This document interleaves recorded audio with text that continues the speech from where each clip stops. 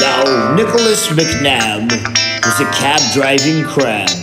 He came from a land where fabulously fads went to and fro the boat rowing noodle slippers, eating vegetable stew.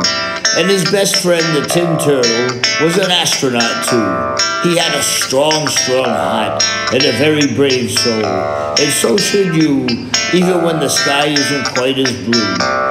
Cause Nicholas McNabb was a cab driving crab. He came from a land where fabulously fabs went to and fro the boat, boat rowing noodle slippers, eating vegetable soup. And his best friend, the Tin Turtle, was an astronaut too. He had a very strong heart and a very brave soul. And so should you, even when the sky isn't quite as blue. God bless you every day of your life.